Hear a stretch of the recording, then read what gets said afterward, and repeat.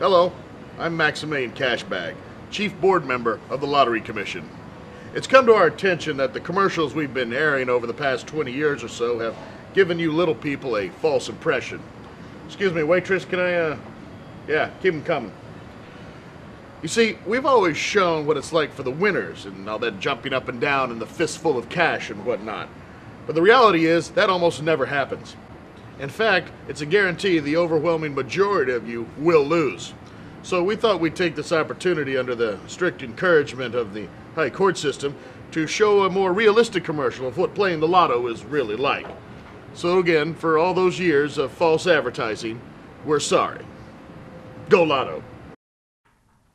I don't know what happened. I played all the right numbers birthday, anniversary, lucky numbers. I had a system. I'll tell you what's happening. You're a loser. That's what's happening. You were a loser when I met you, and you're always gonna be a loser.